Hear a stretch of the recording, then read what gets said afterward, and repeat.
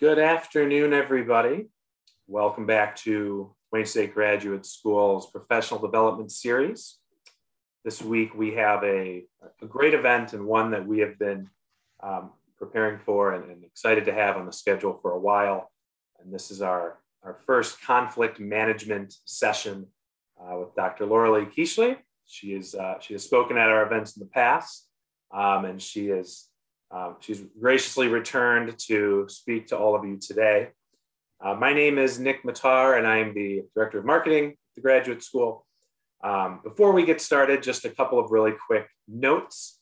Um, first off, we uh, when this, this, afternoon we emailed out a couple of documents um, along with the Zoom link. Um, so Loraleigh may uh, allude to those throughout the session.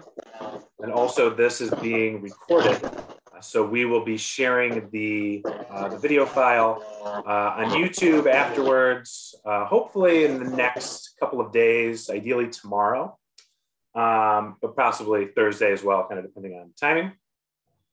Um, we'll also be sure to share the slides in that email as well. Um, and be sure to uh, take our survey. We, we really do value the post-event surveys and what you all have to say. And, and I will say for all of you who have attended our events in the past, over the past two months, um, we've really valued the feedback that we've gotten so far. We, we look at those each week in our meetings. So um, please be sure to do that, do that. And I'll mention this again at the end of the session today. Um, but uh, the last little bit of housekeeping, uh, this is the first in a two-part series of events. Um, there will be a part two coming up. I believe that's not until March. Um, next week, we'll be hosting an event uh, for all you doctoral students out there on preparing your IDP. Um, that is going to be a uh, very informational session that will help the graduate student experience for you. Um, and then in the second week of March, uh, we're going to be we're going to have our graduate research symposium, entirely virtual three-day event. That's really the grad school's flagship event of the year. Uh, we have we'll have 180 something researchers presenting their their work, and we usually have uh, attendees from four or five continents and uh, a couple dozen countries, and and I think this year we already have uh, close to 50 universities represented from around the world. So a great global, diverse audience here uh, with us in March. But um, you know that I digress there. I, I don't want to take any more time away from Loraleigh. So without further ado, um, Loraleigh, please uh, feel free to take it away. Great. Thanks, Nick. Thanks, Mary. And hello, everybody. It's, it's good to see at least some of you. Many of you know when you share your screen in Zoom, you only get to see a snippet. I do have the chat open, so I'm also going to try to monitor that. And Matt and uh, and Nick and Mary, I'm going to ask you to help me with the time because it seems like my timer has decided it doesn't want to work. So, you know, give me a high sign at about quarter to um, to let me know. So, conflict. We're going to talk about conflict management here and how we're going to do that. And we've truthfully, we got less than an hour, right? And so I'm not, what I'm going to talk about and share with you and have you think about is um, is an introduction, right? It's a taste. Um, and so, in terms of will it solve everything you got going on? No, but perhaps what it'll do is give you some ways of thinking about conflicts and how you approach them and how you work with others and yourself in a conflict so that you can start to feel like you have, you feel more confident about your ability to deal with that. And conflict is a very common, common experience for people. Um, it doesn't have to be destructive. There's nothing inherent in most conflicts that say they should be destructive. So we have a lot of influence in terms of how they proceed based on how we how we engage with it. So that's I'm going to give you some ideas to think about, some strategies to talk about. So how am I going to do that? I'm gonna we're going to talk about what is conflict.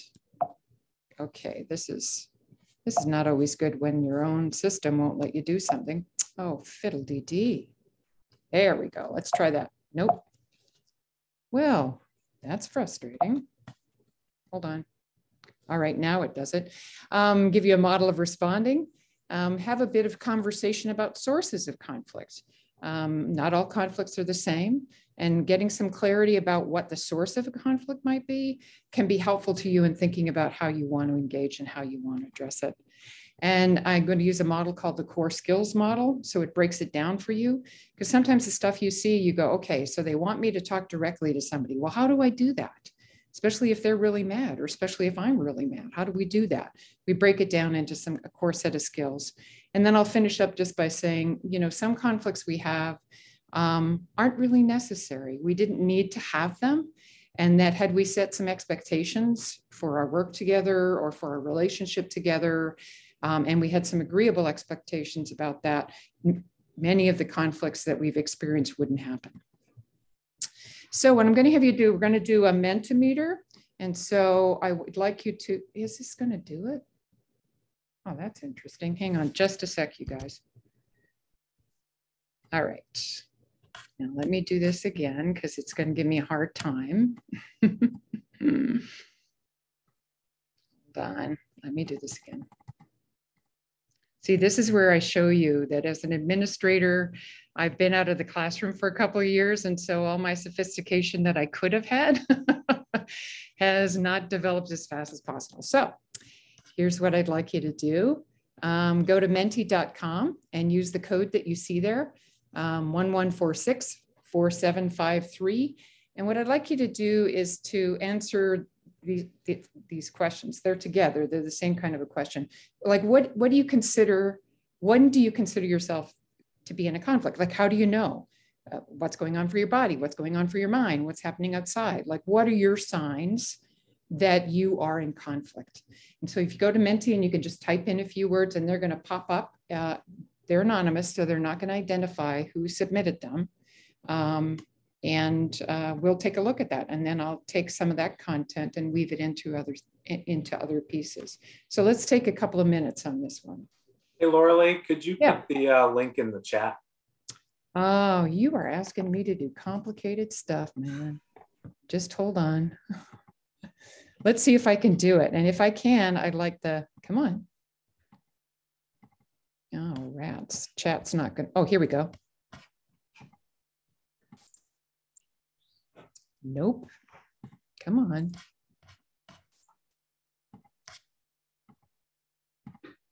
It's not letting me do it, Nick.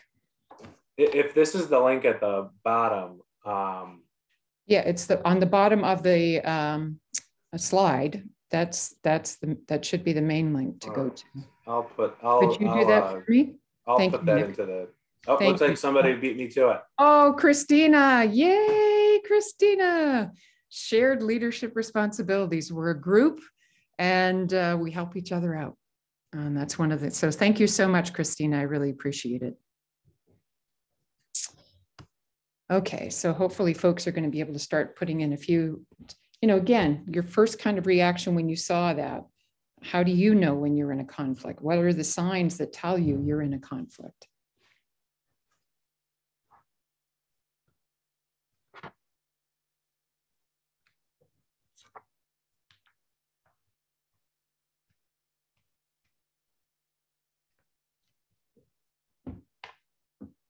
Hmm.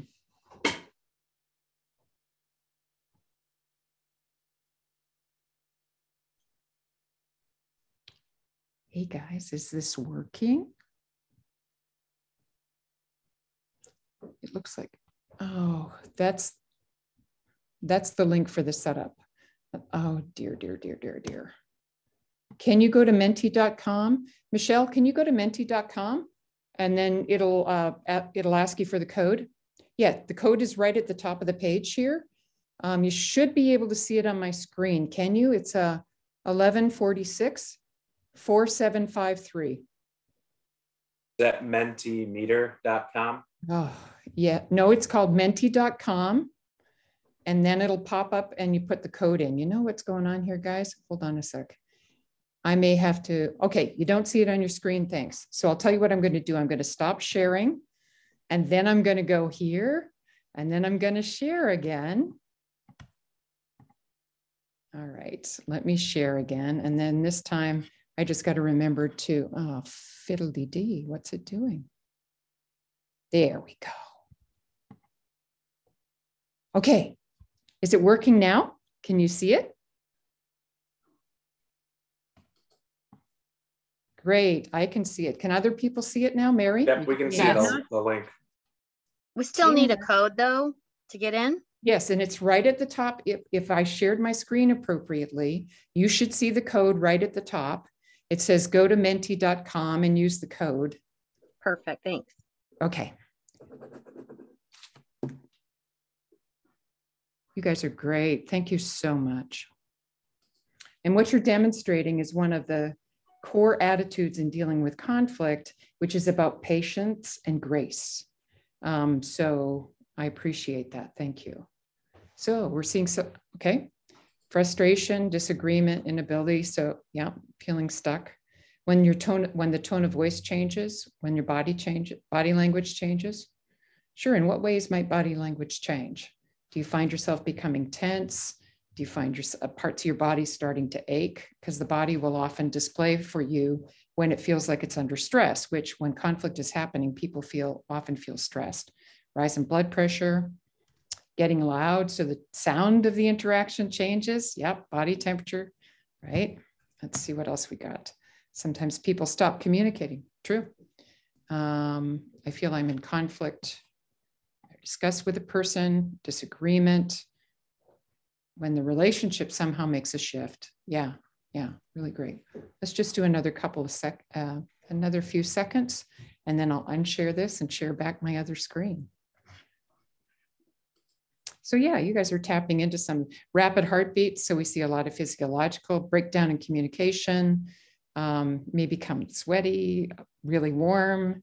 Um, yeah, the kinds of communication happening becomes disrespectful. It changes in its quality. Um, when you're bothered, you become angry and stressed, being closed off. Yeah, you find maybe that your own willingness to be flexible and open starts to close down. That's true. Okay, so what I'm going to do is I'm going to stop there right now. I have to stop this share and then I have to do another share. Those of you who are more sophisticated than I am are going, Laura truthfully, you can do that without having to do that. Okay, now we're back on track. All right, thanks. I mean, I think um, you all described um, what you were experiencing and that and what you're talking about are what we call the different dimensions of, of conflict when conflict first appears. So there's the cognitive piece to it, the perceptions. So that is things like, okay, come on now, you got to cooperate with me. Um, perception, like your ideas, your beliefs, your needs, your wants, your interests are incompatible with somebody else. Like you get this sense about, ooh, what they want and what I want. Like, how is that possible? Uh, the emotional part and a number of the comments you made talked about the emotions of it. Often conflicts accompanied by things like anxiety, fear, sadness, hopelessness, if it's a very escalated conflict, or if you've had the old zero to 60 phenomenon where you things seem to be going and then the next thing you know, it feels like it's gone off the rails and you're like, oh my gosh, what just happened here? Um, and then the behavioral, the action part, uh, what people do to take those cognitions, those feelings, and those feelings uh, to get their needs met. And they can do, and will do it in a way that has the potential to interfere with the other person getting their needs met. And the reason I like to talk about briefly about these things is, is that if you want to, my goodness, if you want to manage conflict, you're going to have to hit all three of these. All of these things have to be addressed. Like think about a situation um, you're on you're on a team, you're in a lab, and a couple of your um, your colleagues are, are fighting with each other, and you've got to get this experiment done. And so the decision is, look, you two just work in separate sections. We got to get this done. So while in the moment you might have taken care of the behavior that was disrupting some of what needed to be done in the lab, you also still have folks who feel that, wait a minute, what about my needs? What about my perspective, what about what uh, is happening for me? They may be wound up about it, and those haven't been addressed either. So, if we really want to work with conflict and resolve it, we have to remember that it's operating on about three different levels. Um, there's generally four types of ways that people tend to respond to conflict. Um, they tend to respond, oh, come along now, passive. Um, so they're they're doing things like um, not willing to advocate for themselves, so they um, not respond overtly to conflict. um, not to express themselves. The challenge for folks who are doing engaging in a passive kind of responding is just because they're not saying it out there and they're not and they're not putting it out there, it is often building up. And sometimes the first time the other person is aware that something has happened is this person is now exploded because things have just built up. They've had a lot of stuff, something in the interaction with you over time. It's been building up, building up, building up, and then it just comes out with a lot of anger. So passive is one type of responding. The aggressive responding, um, which probably you know a lot of you more easily can define, has to do with the dominating and controlling kind of thing, running roughshod over others um, in order to get. It can be described as pushing, threatening, mean, and then uh, the passive aggressive types of things, which is where anger and conflict are expressed expressed in covert or indirect kind of ways. You know, one of the uh, quotes or phrases that we have is smiling while sabotaging others, somebody behind their back, right? Um, people in this kind of mode of responding, people are resentful about the other, but they won't talk to them about it. They won't engage directly about it. When they do engage, they make it look like it's okay, but in fact, they're engaging in behaviors off the side um, that indicate that they're upset about it. The one we want to work with, and the one that I find the most helpful, is the assertive response. And that's where you advocate for yourself but and your needs, but you're also advocating in a way that you, you recognize that the other person also has needs and that those needs and those interests are going to need to be addressed in order for you, you to come through a, this co conflict with them in a really constructive kind of way. And this, each of these four has a different kind of energy about them. So you can often have a feel for something like with, when it's somebody is responding passively, you get a sense about disengagement, but also kind of tension, but you're not exactly sure. The aggressive way of responding, you're usually pretty clear about that one, right? It's in your face, it's over top, it's uh, mean. Passive aggressive, again, you might get the sense of confusion, like, I think she's okay with what I said, but gee, I just heard from somebody else. Oh, that's interesting. A diagram just showed up on the, who's writing on my screen? Anybody see that? It's okay if you want to come off to, thank you. uh, and assertive tends to have a much more quiet and focused kind of energy. It tends to be a much more relaxed kind of thing. And when you think about it, that makes sense. If you are engaging with somebody else who's engaged, who's being assertive, as opposed to passive or aggressive or passive aggressive, you do have a sense that they are open to hearing you and what you have to say and that they will also speak for themselves.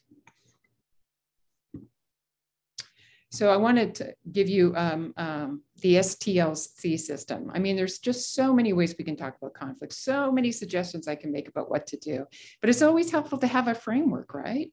I mean, frameworks, you know, acronyms, things to have at your fingertips. So this is one that I particularly like because I think it's pretty clear and I can remember it pretty easily. TLC always makes me, you know, think of tender loving care and S always associated with stop. So it's one that I can try to remind myself of when I'm in the middle of a conflict or when I know I'm coming into a conflict. So there's the stop. The T is for think. Um, the L is for listen, you got it. Um, and the uh, C is for communicating. And so when we talk about stopping, one of the things that I've seen with conflict, and you likely have had this experience for yourself, is that um, things seem, sometimes seem to move fast. They just go from zero to 60 and you're like, I don't know where, how did this happen? Where did this go? Or you're in the midst of it and you just, it almost feels like there's a part of you that's out of control on this one and it just keeps going. So one of the first things we need to do is to create the space to slow it down it doesn't have to go zero through 60. So we need to slow it down. Um, and when we slow it down, then we're able to make more proactive and deliberate and thoughtful choices. Um, now, I know that there are times when you're in a situation and it's moving fast and you're like, oh my gosh, like right now, I'm not really ready to engage in this. I'm, I'm overwhelmed. I, I, I don't know what's going on. Then we want to create opportunities to stop the interaction and have the people separate for a while. Um, and you can do that in a number of different ways. You can say to somebody, you can be very clear with someone and say, you know what, this is a whole lot of information coming to me. at one time and I want to I want us to work this through. I want to think it through, but I need some time to just take a few deep breaths to settle myself. So I would like us to be able to come back at another time. Now, sometimes people aren't going to cooperate with you and they're not going to say, no, no, you got to stay here. We got to figure this out. It's all got to be done. Um, I think what's really important is you get up and you move. And so I've rarely found it a problem that if I say to somebody, I need to, I need to go use the, the restroom, or I need to get a cup of coffee. Do you want a cup of coffee? One of the things that that does is it immediately breaks the interaction, um, gets you moving, because that's really important too. Because one of the things we see happen when people are in conflict is they start to tense up. And as they tense up, they actually start to breathe very shallowly. So at a time when they need to really have a lot of oxygen stuff moving through their bodies, they're really not doing that, which tends to make it more difficult to think clearly and to make decisions. So getting up and moving can be really helpful. Um, so, you know, be thinking for yourself about ways that you could go about doing that. I'm trying to get my chat screen up here. Um, when you create that space, it's about thinking before you act. So thinking about what are the sources here? Why is why is this happening? What is my what is my role here? What if what's what's happening for me? What's happening for them? Um, is this about this? Is this about that? We're very curious. We're all in many ways researchers and scientists in the broadest sense of the word, and so we're asking questions. And the other thing to think about is as I engage in this conflict or choose not to engage in it, because that's another choice that you have what do I want out of this? What am I trying to do? Am I trying to solve a problem? Am I wanting to maintain this relationship because it's important to my work or it's important to my life? I care about this person. It's it's relevant to me. Um, thinking through what some of those goals are, um, and then listening. Um, this is the big thing I'm going to push with you today. And many people who see me present on related types of topics know that this is one of the things that I uh, always say is that if you only have room in your social skills repertoire for one skill, let it be listening. And we're going to go through that in detail because I really think it's important that you be able to do this effectively because it'll bring you so much reward in terms of doing it. So before, and I know this is tough when you're in conflict because you got a lot of energy, you got a lot of stuff you want to put out there, you want to make it clear, right? Oh, and so is the other person. And so what I'm going to ask, be asking you to do is to be really disciplined about this and listen to them first.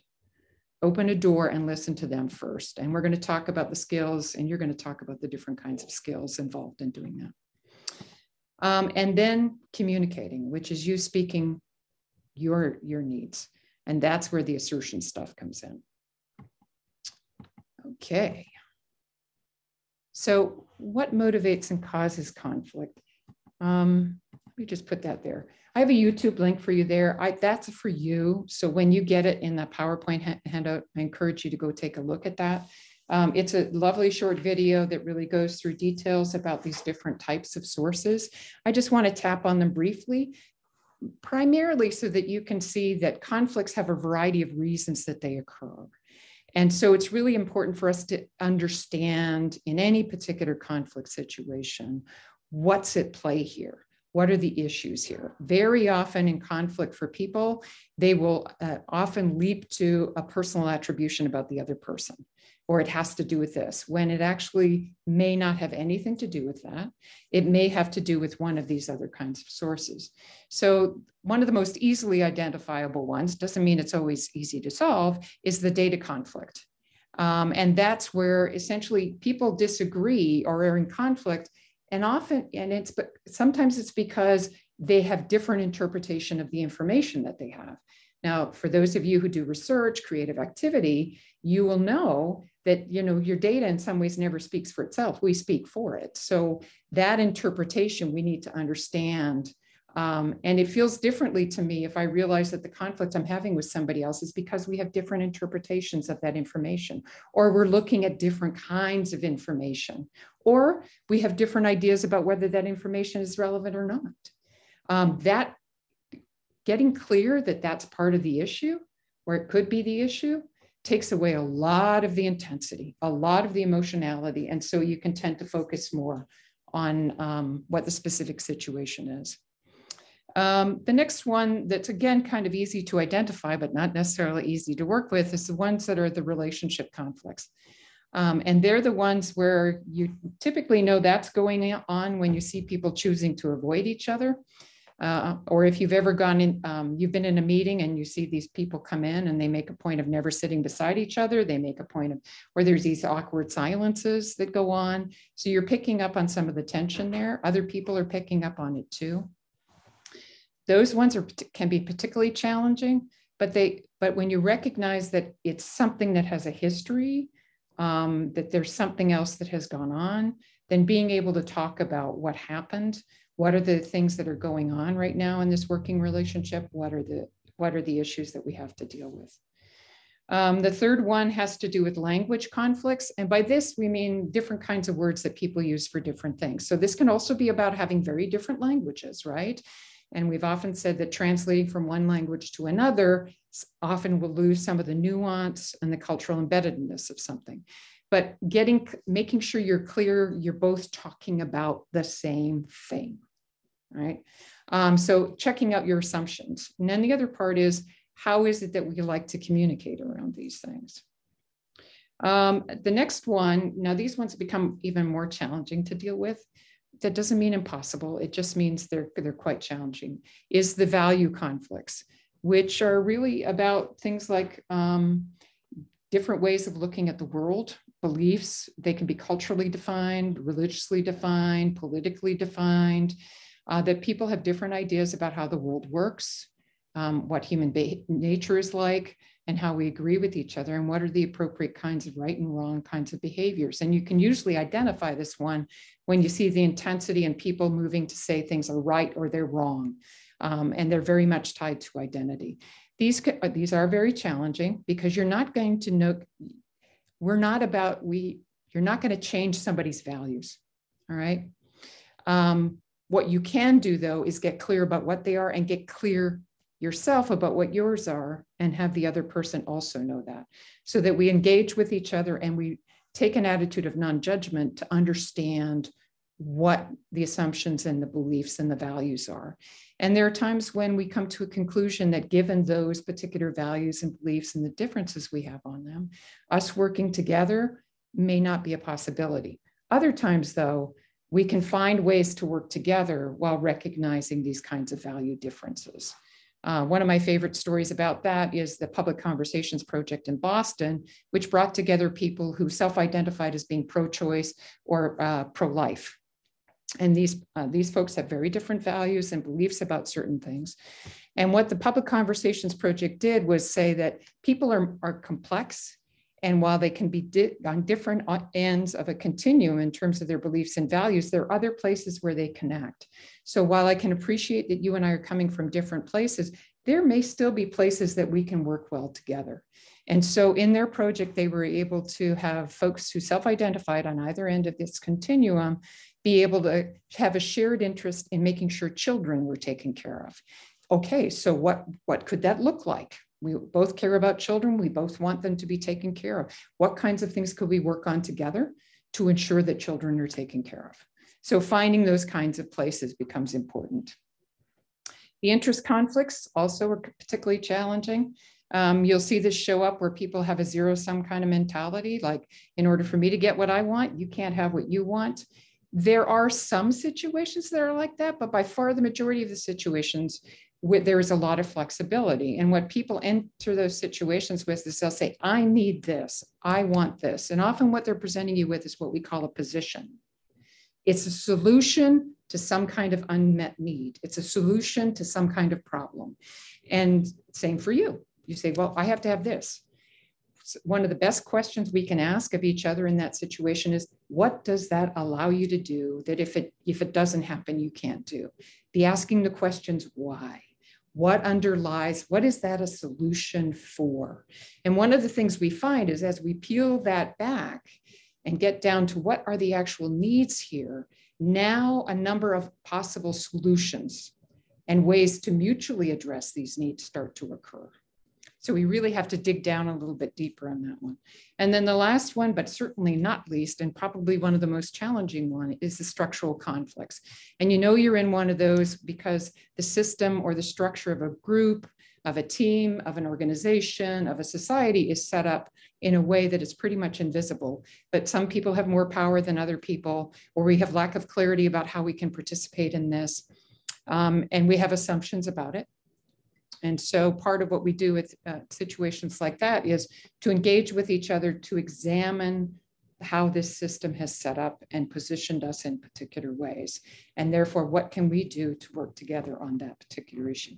Complex stuff, I know. I wanted just to introduce it to you because to illustrate to you that there are lots of different reasons why we have conflicts. And it's not just because the person on the other side is being ridiculous or a pain in the or mean and nasty. People are pretty rational. They may we need to we need to figure out and you need to figure out for yourself why this matters to you.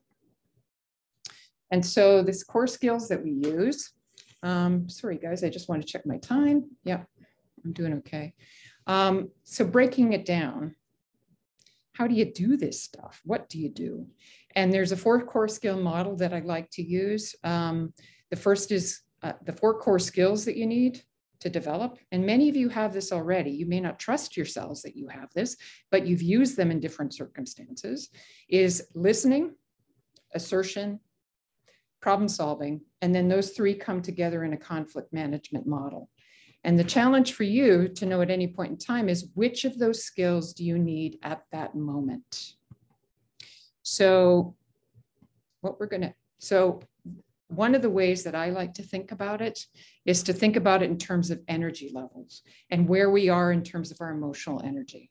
So, for example, in the first pairing there, you see if we if we read the red color is the amount of emotional energy somebody has with regard to this particular situation.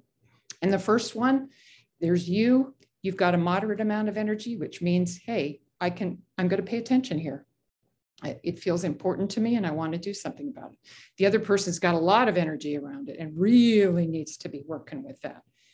In thinking about that situation, you put in the chat, which skill do you think? Listening, assertion, problem solving, or conflict management, the three of them together do you need?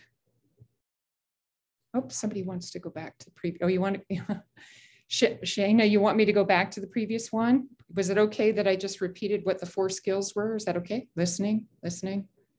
Okay. And Shana, you're probably asking me to do something that my sophistication level is rather questionable. Yeah, I'm sorry, Shana. I'll tell you what, Shana, follow up with me and I'll help you with that. So we're getting list. Oh, thanks, Shana. That's very kind of you. I appreciate that.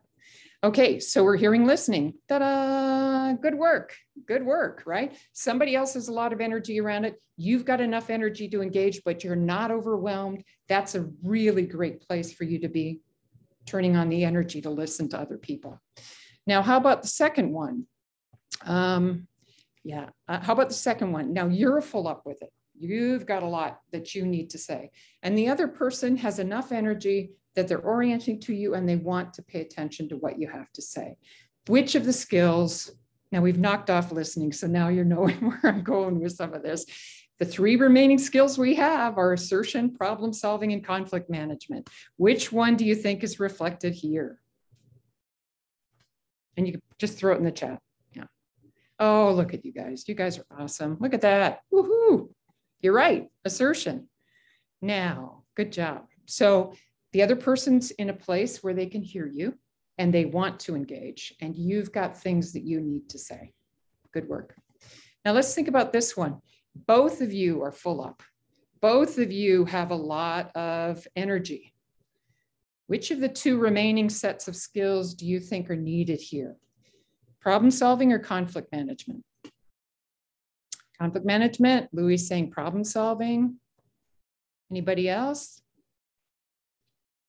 Conflict management, conflict management, yeah. Yeah, it's actually, it is, it's conflict management. Um, because we're gonna do a combination of listening and assertion to get things down so that both parties are at a level where they can engage, which is our next set right here.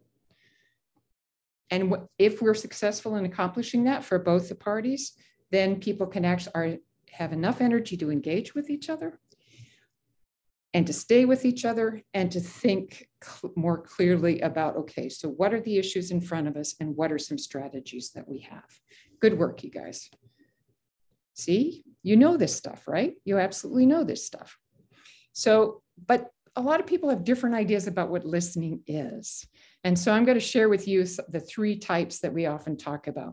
One is the compet competitive or combative listening. So this is the one where you're talking to me and, and I'm listening, but the whole time in my head, I'm going, just wait, just wait till so and so is finished on. Oh, that's the point I'm going to go after. I'll wait until they're finished and then I'm going to go after that, right? So it's a much more interested in it in that circumstance, I'm listening to support my point of view or to create the opportunity for me to go in and say how it really is. So um, that's a that's a very frustrating situation to be in. You may well have been on the receiving end of that, but you probably also have been on the end of the giving of it. And then there's what we call the passive or attentive listening, which is really a nice form of listening and you do really want to hear the other person's perspective. You're calm, you're focused, you're doing all of the good following and attending behaviors, that type of thing. But you assume that you understand what they're saying, and maybe you do, but you're not communicating back to them what you understood. So sometimes I'll use the phrase, hey, I've been doing this work for like a long, long, long time. And I will still do this where somebody will be talking to me and I'll go, I understand maybe I do, but they don't know what it is that I understand. The best way I can let them know what it is I understand is to engage in active listening or reflect. Well, another term they use is reflective listening, which is that I verify with the other person what I heard them say. Um, so it might be things like, it sounds like that was a very difficult situation for you, and you feel like you were at loose ends. Is that right? And you might come back and say, yes, I went for the yes on that one because I'm sharing with somebody what I think I heard them say. If they say yes, then I know I'm on the right track with them. I'm getting in their headspace. If they say, nah, well, not really, then I invite them to say a little bit more. I believe that this is the single most important skill you will ever develop, ever. Um, and so I believe that. I'm wondering what your thoughts are on that. So in the chat, why would I think, or why hopefully would you think, that active listening is a good thing?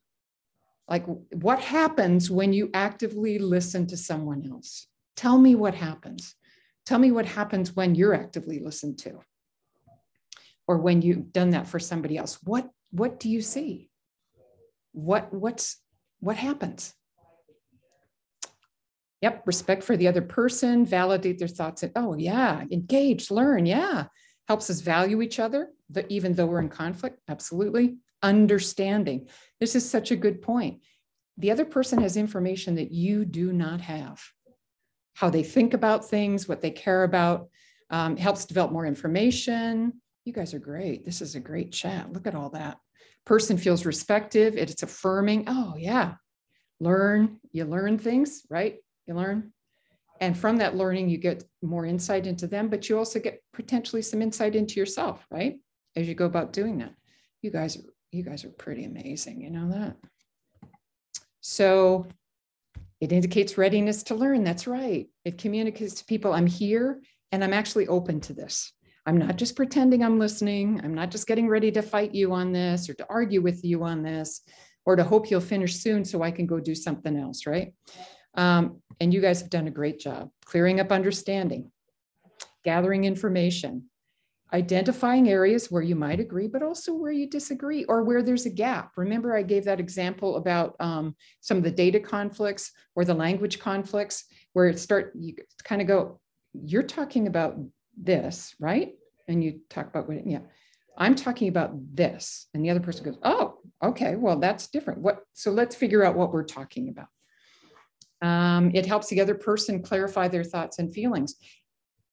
This is really an important one because even when somebody comes prepared to talk to you about a conflict or you to talk to them, they're still working through things. And so when you, as you create the space with listening, that's giving them space to kind of lay out the stuff and go, oh, okay, some of, hmm, okay, I have a different idea about that now. Um, others, you talked about this too, others being heard and acknowledged, and then they're open. When people feel, genuinely feel that you're listening to them, they will be more receptive and more open to you. And it creates a sense of respect and caring. Again, these are all things that you identified. So you know how important this is.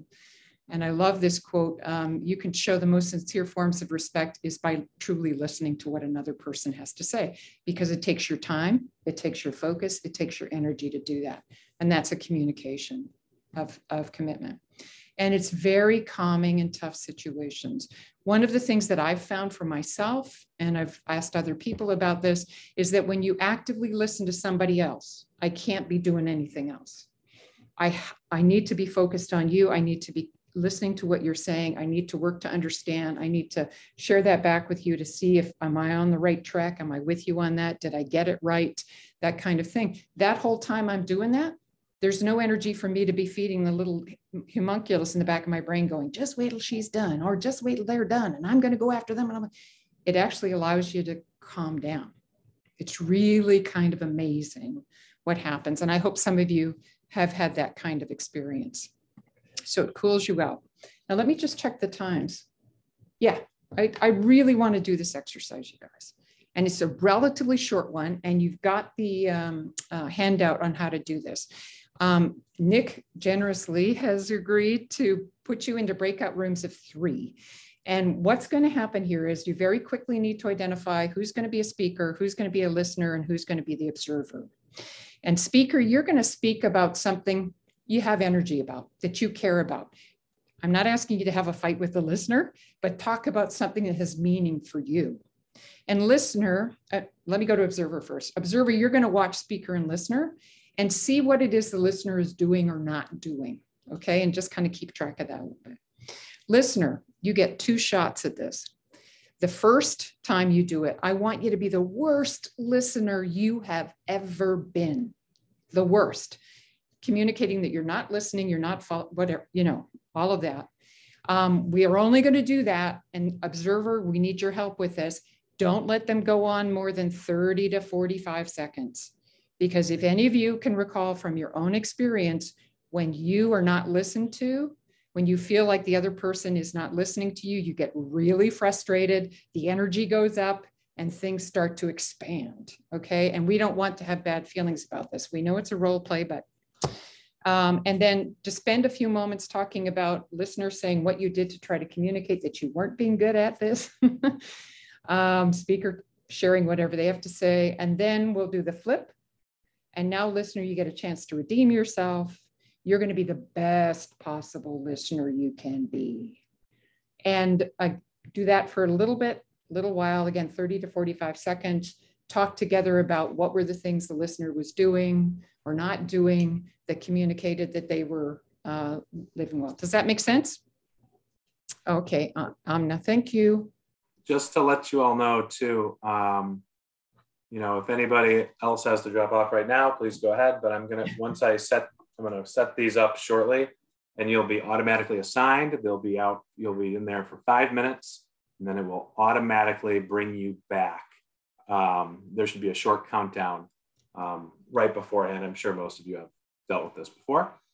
Um, so I'm going to give it just one more second here because I know you know I want to want to make sure everybody has an opportunity here.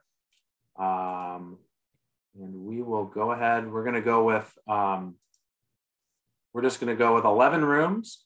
And so uh, best of luck, everybody. We'll all still be here. Loraleigh and Loraleigh and Mary, you may both be assigned to a room, but oh, um, okay. This is um, kind of exciting. I'm not sure if you will or not, but um, all right, I'm going to go ahead and set these up uh, now.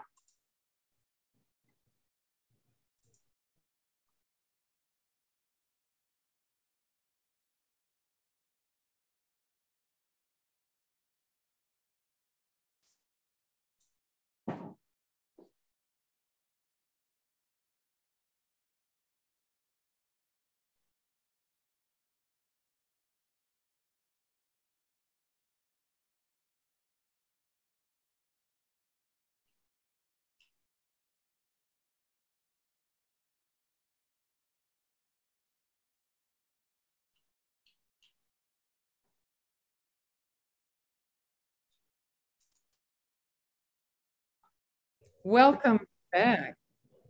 Welcome back, everybody, and thanks for coming back. So let's have a little bit of a chat on this one.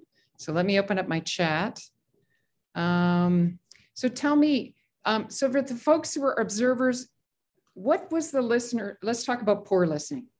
What was the listener doing or not doing that was communicating that they weren't really listening to the other person? And you can also come off mute if you like.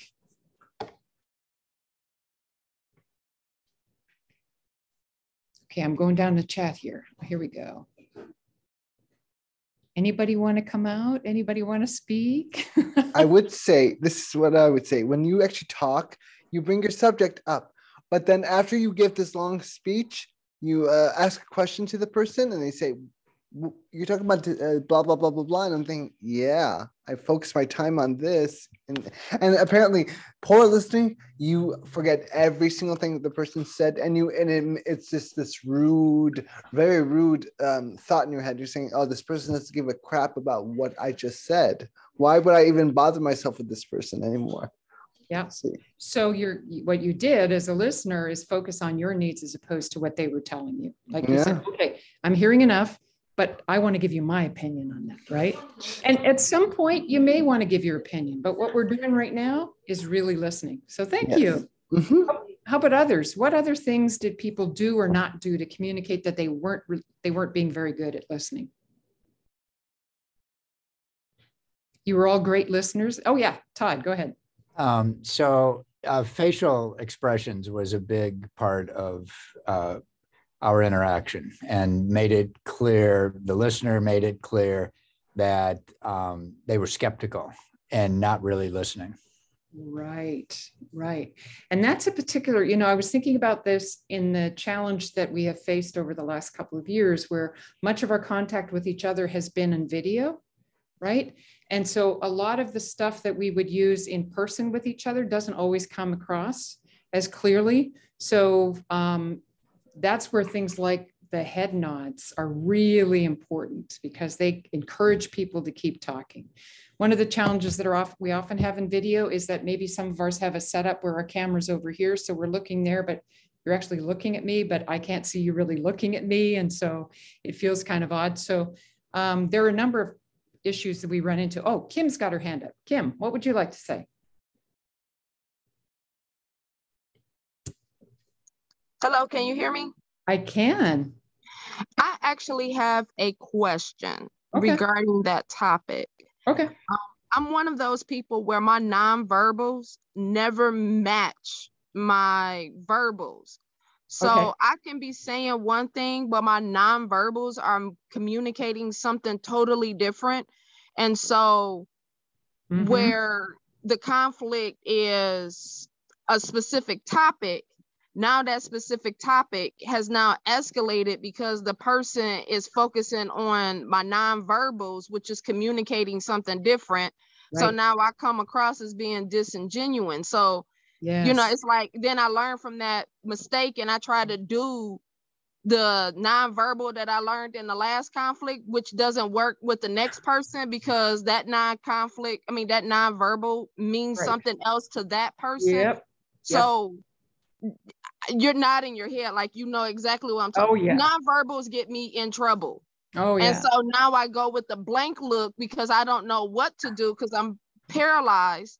I and know. so now that creates a whole nother conflict. So how do you handle the nonverbals? Because yeah, nonverbals mean something different to everybody right depending on their subcultures their their mm-hmm. actual culture you know mm-hmm. regions demographics so how mm-hmm. do you handle that is my question well first of all kim let me if you're looking in the chat other people are going yeah i hear that i know what that's like and another piece is before I answer very directly your question, nonverbals and verbals, if they tend to conflict with each other, people pay attention to the nonverbals.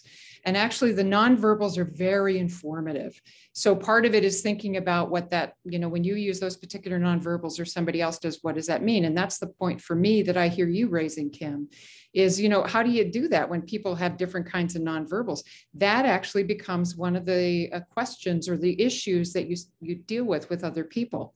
Like Uh, I could say to Todd, um, it, as Todd's listening to me or something, and, and I see it and I say, Todd, um, I'm looking at you and you, you seem to be, you seem to have an expression on your face that suggests that you're bored with what I'm saying. Is that, is that right? And now it's Todd's chance to clarify that, right? So, and one of the Absolutely things. Absolutely not. Yeah. Thanks, Todd. Now I have a better understanding. Um, but that's actually one of the things that we do with each other in our relationships is we have to in many ways negotiate with each other how it is that we we have our conflicts with each other. So kim you and i might have a very different sort of framing of our conflicts. I have a very expressive face. I've had to learn how to school it because you know i can show surprise like my eyes go whoop like that. And that may not be what I want to communicate to somebody at that time, that particular person, but somebody else it might work. And so part of that getting to know each other is getting to learn that about each other and, and having explicit conversations about it. Is that at all helpful, Kim? hmm. Maybe yes and no yes and okay. no it, it does but it doesn't and i don't know if it's just the subculture that I'm a part of. Mm. Um, I think it's important I, I guess because of, I, I I don't want to come across like therapeutic. You know what I'm saying? Like it seems like people was like, man, I feel like you giving me some form of therapy session because I would literally come out and say, I'm explaining to you what it is that I'm saying. What is it that you need from me?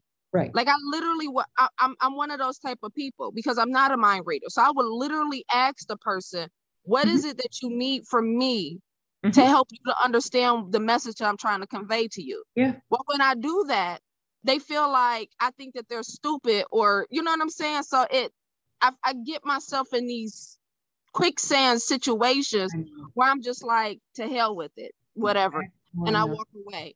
So that's why I'm saying no, yes, but no. You know yeah. what I'm saying? Yeah. That's what I'm saying, yes, but no. But I get your point, is what I'm saying. I, I do get your point. I do understand what it is that you're saying. And I, I don't know. Maybe my conflicts is a little bit more in depth in this particular workshop. I first of all, I don't think you're alone. So just check out the chat. You're not alone. And this is off. This is often an issue that people have with each other, is trying to find out how it is basically how we're going to fight with each other. So I like to say, and people have different ways in which they go about doing it. Some folks are much more direct. Um, some folks are less direct about it. Neither one of those is necessarily better than the other, but it's about learning about somebody else and getting used to them. And that takes time to do that. Um, and so, uh, and sometimes the conflict is because I'm reading the nonverbals wrong, right? So it's not that I'm being obtuse or ridiculous. I'm making an assumption that when I see these particular kinds of nonverbals from you, it means you're this. Um, but what I want people to do is slow down and say, okay, so what am I responding to here? And what is it I know and what is it I don't know? So with the, you know, very minor example I gave with Todd, um, it was saying, okay, I don't know why Todd's expression looks like that, but I want to tell him what it looks like to me and ask him if that's accurate. And if it's not, then Todd has the opportunity to be able to change that. He, he has the opportunity to be able to say, no, actually, I'm very interested in what you're saying. Uh, this is my, this is my rested interesting face, you know, that kind of thing. Hey, and I see, oh gosh, thank you. Guys. Four o'clock. You're welcome, Kim. If you want to talk more, um, just email me and we can have a wee chat. I see S. McCall has her hand up and it's after four. So I understand if a lot of you have to go, right? Um, I'm in the I'm in the Wayne system. So if you want to fire some questions at me or something like that, I'm happy to do something. And I'll talk to uh, Mary and Nick about the possibility about trying to develop something else in addition to this to share with you to to share with you. And the PowerPoint that I've got, I will make sure the notes pages are rich with information and interpretation for you. Okay, so S. McCall. Well, first off, thank you. This has been really great. Um, my question is kind of a two-parter. Okay. Um, kind of piggyback offing the the discrepancy between verbal and nonverbal. Um, to get clarity on both of those things, obviously you don't want to ask them at the same time. Is it mm-hmm. more appropriate, one, to ask one before the other and if so which one and then i guess my second part of the question is is how much um, does emotional intelligence hmm. play mm. into conflict resolution conflict management um, relative to this okay two really meaty questions um, I would say I don't have a particular order about verbal or nonverbal, but um, whatever you're responding to most immediately is probably the one you want to bring up. Or the discrepancy, right? Because that's often what cues people. Um, you know, you said you're interested. Let's have this conversation because I really want to understand what you're telling me. And then as I'm talking, your face is is not giving me what I th- think I would like, right? Or what I need. And so that now becomes in this moment the issue that you need to be talking about. And so saying that, saying, you know, I really appreciate um, that you're willing to um, try to understand where I'm coming from on this, because that's really important. Um, as I'm, you know, as I'm sharing, I'm looking at your face and your face looks like you don't have any expression. I can't see an expression in your face or your eyes, or you, you seem to be annoyed because you're frowning, right? Um, and I've heard the frowning one a few times because um, being intensely focused on the camera, sometimes it comes across as a frown. So then you and I work that out. So I provide you with information that would say things like, oh, I didn't know that I was coming across as frowning. That's certainly not what I wanted to communicate. That's actually my intense gaze. So, um, but let me tell you what I what I've heard you say so far, and you can tell me if I'm on track with you. So that then we get that cleared up, and then we can start going back into the other issue. Does that make some sense? Yes, absolutely. So it's kind of like you're resolving a conflict within a conflict. absolutely, man. I mean, conflicts are so fascinating because they can start in one place and then as you're working on it, other stuff can come in. I'm not necessarily talking about the kitchen sink approach where you're mad at somebody and so you bring in everything they've ever done wrong and you throw it at them. But in the process of talking with each other, in the process of figuring this out, other things might become clear so that actually some issues then drop away because as soon as i explain to uh, you know you give me your perspective i share back what i heard from you and you say okay, and then you're now you're ready to hear mine and we put both of ours out and we go oh we actually agree so then we're done with that. But yeah, they can be very uh, living kinds of situations. Now you asked about emotional intelligence. Emotional intelligence is a set of is a set of skills that people can develop. Um, and people develop them in lots of different circumstances, right? So people who are more skilled at that might find dealing in conflicts initially quite a bit easier, but conflicts truthfully are challenging. I mean, I've been doing this work for a long, long, long time. And I still sometimes get that feeling in the pit of my stomach. Um, and that's why I like the, let me bring it around, the STLC model, because it's one of the things I remind myself of is, okay, I got to stop, I got to slow it down, got to give myself some space. I need to think about what I want to have happen. I need to, and when in doubt, I always say, when in doubt, listen to what the other, listen, like turn the ears on, genuinely listen to where the other person is coming from and communicate what you think you've heard them say. And don't worry if you make a mistake. That's why, or that's why you share it back. It gives them an opportunity to say, mm, no, not it. That's not it. So you can open the door some more and they can give you some more. And it may be because they're describing it in a way that, you know, they're kind of all over the place. And it may be because you're kind of in a different place and having trouble doing that. But yeah, it's a lot of back and forth um, periodically stepping in and having some kind of summarizing on it. Like, okay, let's, we've covered a lot of territory. Let's, can we just talk about what we've covered so far? So we've agreed, or we have a sense that um, the issue about when things start is really important and that we have different ideas about that. And so going through those kinds of pieces and those summary kinds of things can be a way of giving people a chance to breathe and kind of go, okay, yeah, yeah, those are some of the things that we're trying to deal with. Does that help? Yes, awesome. Thank you. Uh, I mean, it's helpful, especially, I mean, when dealing with neuroatypical individuals. Oh, yes. Too. Yep, absolutely. You know what? Anybody else? I mean, I've got to, it's 408. I don't want to keep you unless you, anybody else got any particularly pressing questions? And I promise I'm going to make that PowerPoint and the notes page is really rich. So it's the next best thing to being with me. Anybody else got anything that I, I got a few more minutes if you do.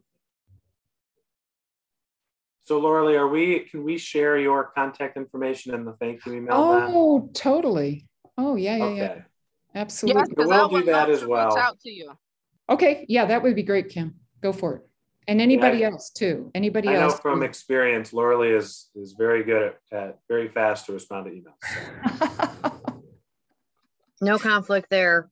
Yeah. Oh, but we could have other kinds. It can be fun. Anything else from anybody? Well, let me, Alright. um, you know, we were just, actually, these examples that people were asking with, with their questions. What you saw there was a combination of listening, active listening, so sharing back what I heard somebody say or what I think I heard them say, so they can correct me. Um, and then providing my thoughts on that. So that's the assertion piece of it, where I describe, where you need to describe very specifically what it is you're responding to, the impact that it's had on you, um, you know, your feelings about it and how you want to, you know, and what it is you want differently. So that's the assertion part of it. But that's in the PowerPoint. I will make sure to go through that um, and we can talk about that some more. All right. Anything else? Will we get a copy of your PowerPoint? Yes, you will, ma'am. I'm going to um, augment the notes pages. Um, And you also got a handout from me on uh, quick tips. That's a lovely little summary of things, but I've got a ton of stuff and I'm happy to share it. So I'll make sure each slide has something in the note page that describes the key points and what the intention of them was. Yeah, we, we included the tips in the um, email that you would have received just before um, three o'clock today, but we'll also include it in the thank you email just so that That's you great. see it again, um, in case you didn't catch it last time. Mhm. So, well, thank, Thank you, you. Loraleigh, so much. Hey, you're this- welcome. This has been a really, really engaged and lively group. One of, you know, one You know of what the I more engaged groups we've had in a while. So, What I look forward to is when we can actually be in the same physical space. Um, that will have a different energy around it.